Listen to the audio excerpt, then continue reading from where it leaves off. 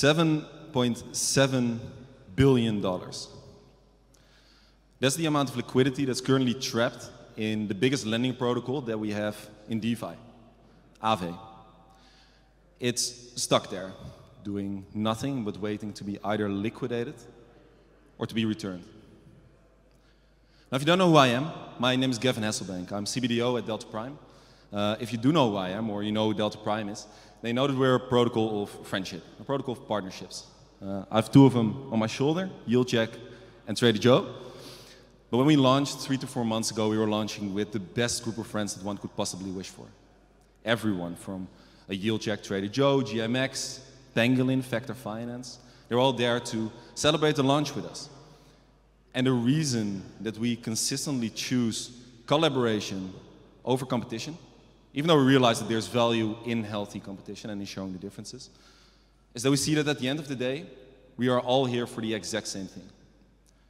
Whether you're a builder or an institutional investor, whether you're a retail investor with $1,000 to your name, and whether you're here for personal gain or to see the space grow or to help this space grow, in order for any of that to happen, we need one thing first and one thing foremost adoption. Getting more users in, getting more liquidity in. But right now, there's $7.7 billion that's trapped in the biggest lending protocol, the biggest over collateralized lending protocol in DeFi. And that's not to say that over-collateralization or over-collateralized lending protocols never provided any value to DeFi or to Web3 as a whole, because quite frankly, they've been essential to get us to where we are today. They have been necessary. And what I want to do is I want to first walk you through it. Why are they here? Why did they amass such massive amounts of capital? Secondly, talk about a mindset shift that has been happening for the past one and a half, two years. A mindset shift that has just been discussed in a previous panel as well.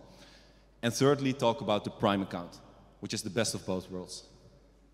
Which both worlds? Lending 1.0, trust-based, under-collateralized lending, and lending 2.0, over-collateralized lending. So start with the former, and I'm going to go through this quickly because we all know it, right? How lending normally works in the traditional finance work, but we also have it in Web3, where you go to a bank and you say, hey, I want to borrow $100,000 and the bank will tell you, that's fine, we got it sitting right here. Somewhere between 14 and 21 business days, and all we need from you is to know what your name is, and what you make, and what your wife makes, and what your dog makes, and like literally everything and everything to make sure that you are credit worthy, to make sure that they can trust you to pay your loan back. And that goes right nine times out of 10. Hell, it goes right 99 out of 100 times. But it's that one time that Genesis lends their money out to this organization, who lends it out to that organization. And they lend it out to Three Arrows Capital, for example, right? And they blow it all with 500x leverage on some exchange and defaults on the previous organization, previous defaults on something else. And before you know it, the whole ecosystem is down. That's how over-collateralization came to be. There were protocols, starting protocols, being like, we can evolve this, we can make this trustless. Because quite frankly, this is what happened in 2022, and under-collateralization got a bad rep. But the problem wasn't under collateralization. The problem was the fact that we were all trusting one another to pay our loans back. So you got an Aave and a compound and a MakerDAO, and they started creating smart contracts.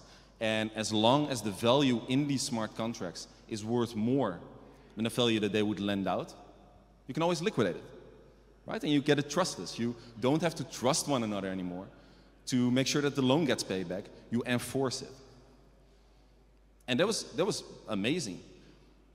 But that also means that as a borrower, if you now go to that same bank, right, and you can prepare this time, so you say, hey, uh, this is who I am, this is what I make, they'll now tell you, we don't need any of that anymore.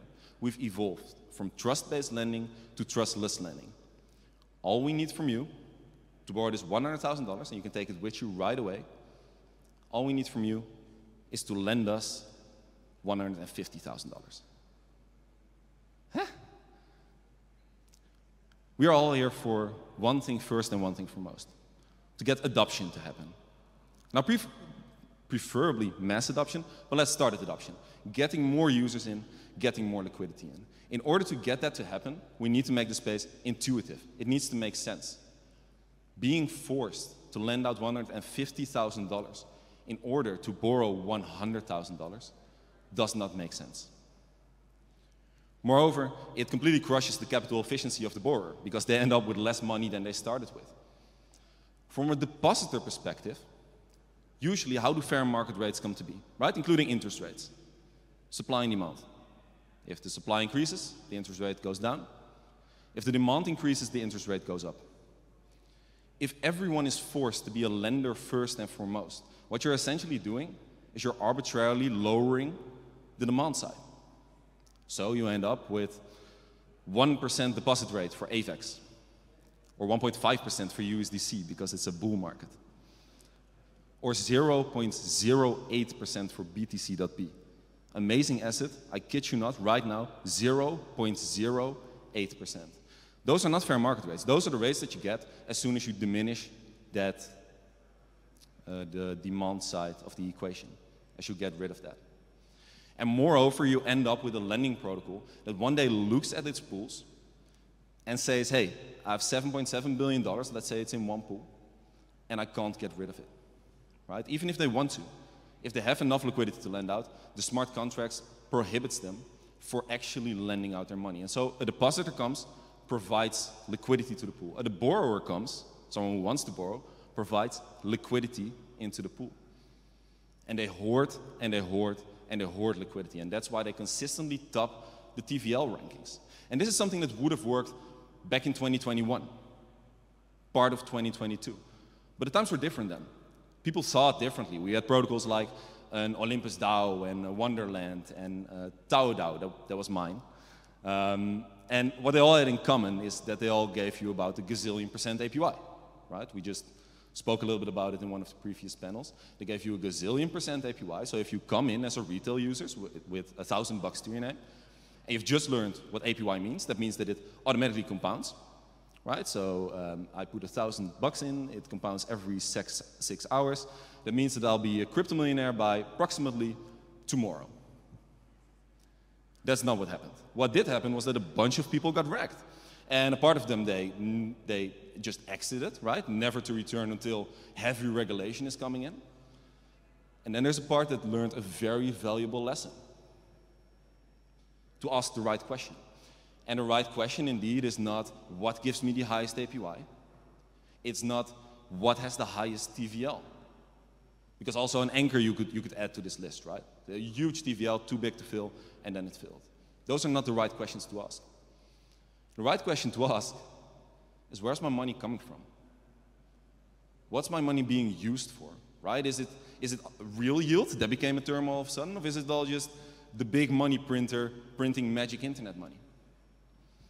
Right? And as users adapted in their mindset, you also saw protocols adapt to that. And before you know it, you have protocols like a platypus coming up, who are looking at their USDC USDT pool of $100 million and are saying, sure, we can increase this to $150 million. But what we can also do is start using the 90% of liquidity that's currently not being used. Capital efficiency. Using the money that's already there. You have protocols like Uniswap, going to Uniswap v3. Right? Concentrated liquidity, same thing. Using the money that's already there. Uh, Trader Joe, liquidity book, exactly the same thing capital efficiency, using the money that's already there. And we saw it in their tweets as well, where all of a sudden they went talking about Trader Joe here, all of a sudden from we're the biggest, we're the baddest, deepest liquidity pools, to look how small this pool is that we have right here. If you're active on crypto Twitter, you must have seen tweets like this. We only have $200,000 in this pool, but in the past 24 hours, it did $400,000 worth of volume. Now that's capital efficiency right? And we see these changes. We see it with DEXs and we see it in AMMs. You see it with liquid staking derivatives all of a sudden taking, taking over, right? It's all, it's all focused on capital efficiency. But there's this one sector that's crucial to any financial system, lending. And that's still this archaic system of hoarding, hoarding, hoarding money instead of actually using the money that's already there. So we need something new, we need something better, we need something capital efficient. And that's where the prime account comes in which is the best of both worlds. So, the best of lending 1.0, right? The best of under collateralization. And if you have been to any AMA that we've ever held, then you know this example. You can come to Delta Prime, you deposit 100,000 bucks, $100,000. You borrow $400,000. And you can use the full $500,000. You can explain to your grandma why you would want to do this. Right? This, this is intuitive why you would want to do this. On top of that, from a depositor perspective, all of a sudden you get fair rates back up again. Right? Because we bring demand back to the equation. So, surprise, surprise, 1.5% for USDC is not the fair market rate. It's somewhere between 10 and 15%.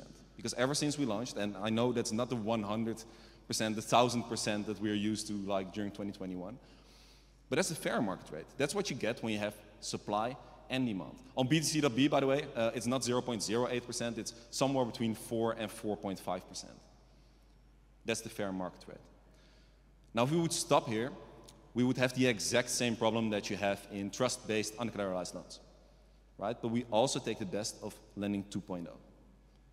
So this $500,000 that you now have in your Prime account, its value is constantly being tracked wherever it goes. It can go to through a Yield Yak to a Trader Joe, it can go through a vector finance, through to, uh, uh, to, to, Pangolin or to, to Platypus, right? We're bringing the money back to the protocols that actually matter, that are actually bringing value into this ecosystem. And no longer are we just hoarding, hoarding, hoarding. Now, on top of that, Delta Prime benefits from this as well, because similar to other protocols that are focused on capital efficiency, um, we too see that if we were to get fees in, and we, we try not to do it because we're focused on growth right now, but if we were to get fees in, we did it for a short amount of time shortly after launch, um, only on the USDC pool, 10% spread, market, just the market rate, right, in lending protocols. We're making $1,000 a day, pure revenue for Delta Prime. Now, that's, that's one pool. Right now we have AVAX, uh, BTC, ETH, we have uh, USDT, right? Soon we will have transaction costs, and we'll have prime brokerage services. And it sounds like it's going to be expensive, and it will be, but here's the thing. Through this capital efficiency, as a borrower, you'll gladly pay for it. Because what you get out of it is worth way more than you are paying for it. Right? We're using the money that's, that's right there.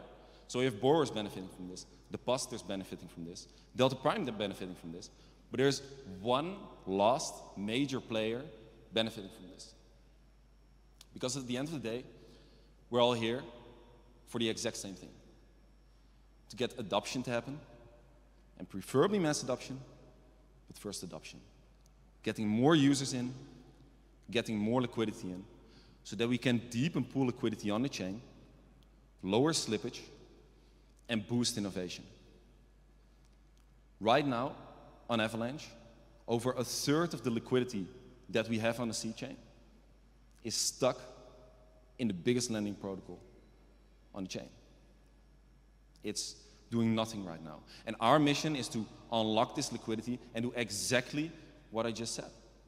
Deepen pool liquidity, move it to the protocols that bring a benefit to this chain, lower the slippage, boost innovation, and get one thing that we are all here for adoption, and eventually, mass adoption. Let's unlock the blockchain.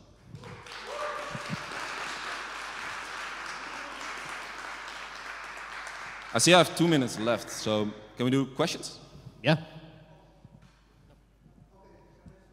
Yeah, absolutely.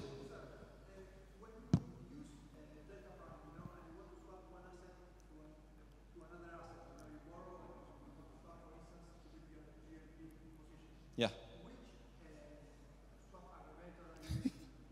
It feels like a tailored question. Which, uh, what are we using to make trades happen on Delta Prime?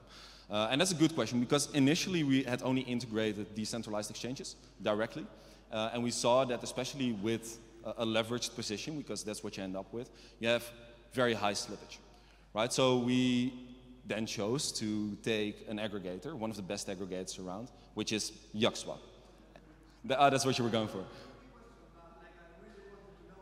Oh yeah, no, okay, yeah, no, yes. no, it is a good question because there are like there are products we, we are popping up, right? This is not just us. There are other protocols like us who are popping up at the same time because this is a change that's going to happen, right? Like I said, this happens on AMMs, this happens in liquid staking derivatives. You see, it, you will see it in more panels and you will see it in more uh, keynotes as well. Capital efficiency is going to be the thing, and I know that some of the others, like they don't do that. They indeed use just an exchange. You need to use an aggregator if you're going to if you're going to create a protocol like this. Thank you very much. Thanks. Do you have any other questions?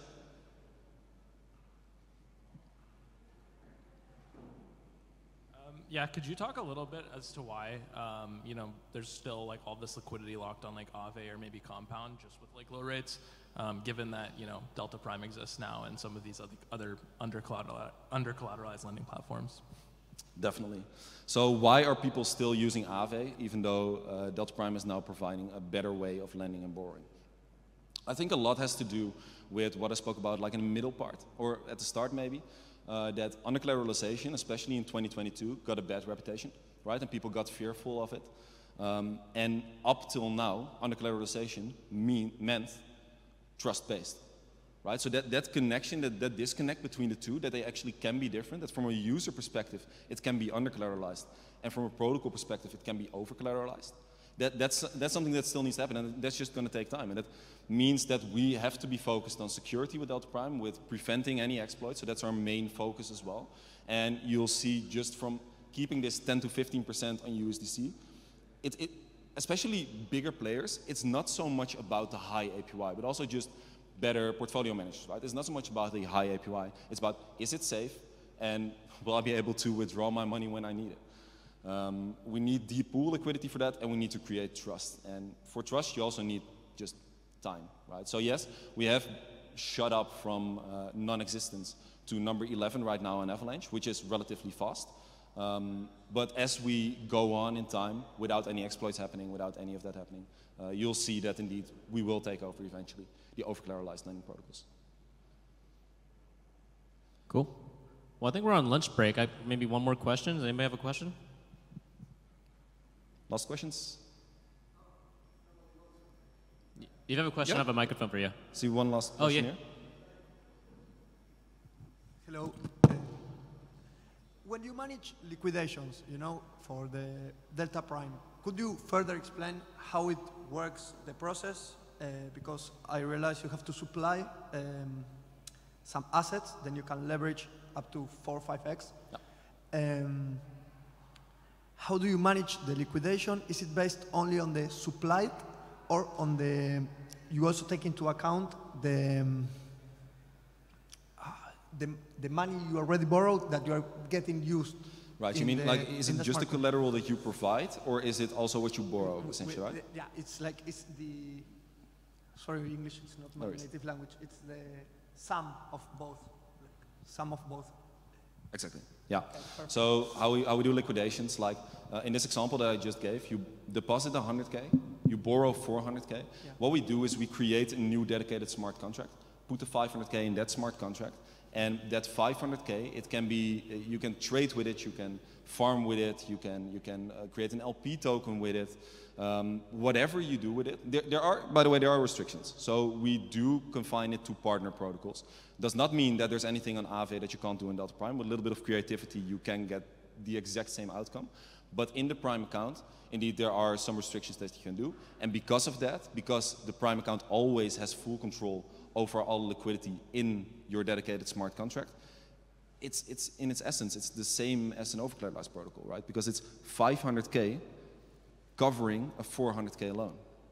So, so there's, there's not really a difference, a difference from that perspective. It's just from a user, from a user perspective, it's completely different because you just brought 100K in and you now have 500K to, to use, right? From protocol perspective, it's the same. Um, Sweet, thanks. Thank you. Thank you, Gavin. Thank you, Dr. Prime.